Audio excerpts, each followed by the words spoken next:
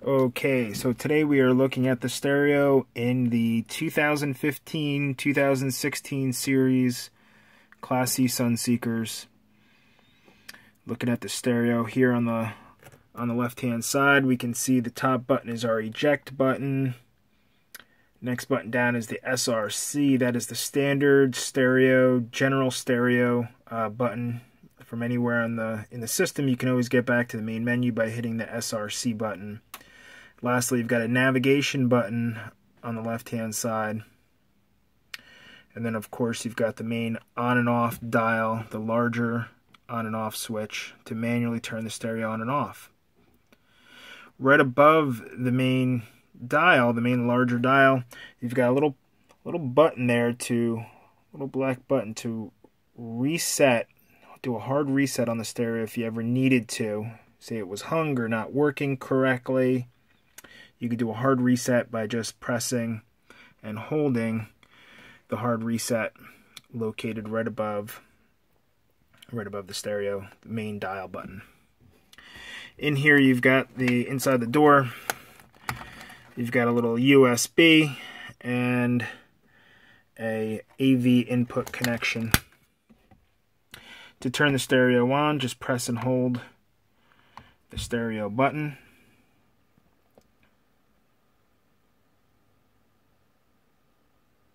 And the computer turns on. From wherever you start at, if you wanted to get back to the to the main menu, you just get back to the main menu by pressing the, the button, the highlighted blue button in the top left hand corner and that gets you back to your to your main system. From your main system, you can swipe for other options. Most importantly, swiping over to hit the disc button. If you ever want to play a DVD, hit the disc option first and then go ahead and put the DVD in.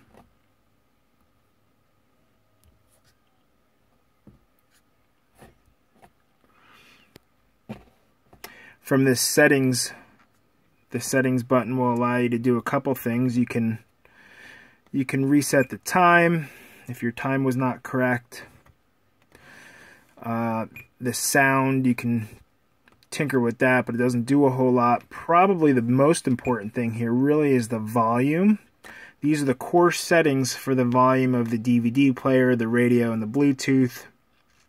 And you can go in here and change your radio setting the core volume from a 6 all the way up to 12, which is the, the maximum.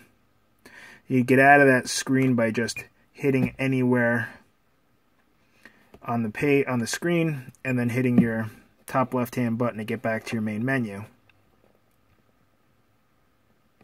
If you want to get into navigation, just hit your navigation icon. Navigation starts off with its standard warning to drive safe. You got to accept that. You could do a couple things here. You can put in your destination by just clicking on destination and find address.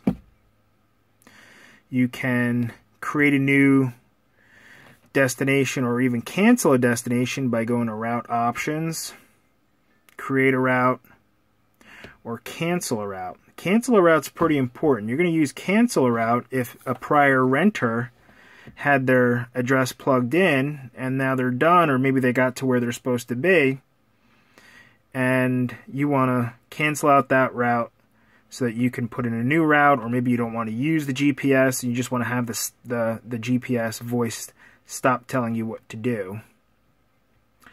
That you would, again, cancel a route.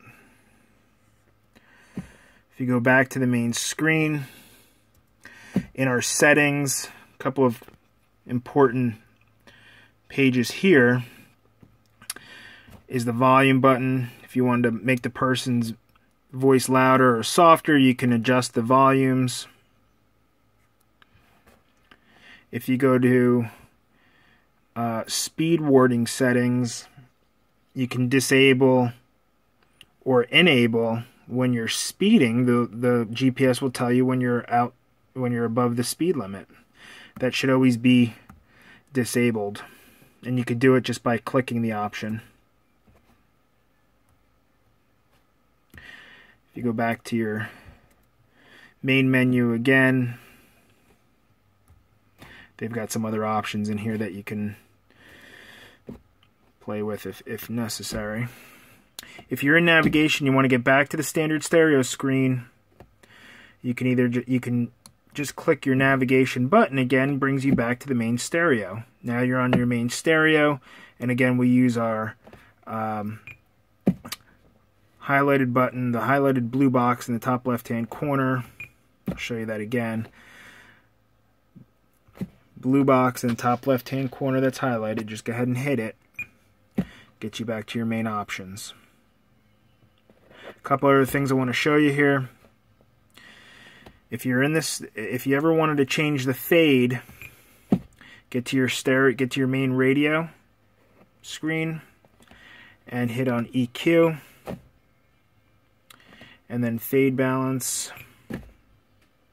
and you can adjust whether it's faded to the front or to the rear of the motorhome.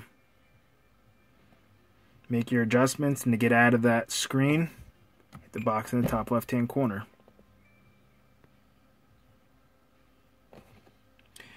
And that overall are the main key settings or key options for the stereo on the 2015-2016 Sunseekers.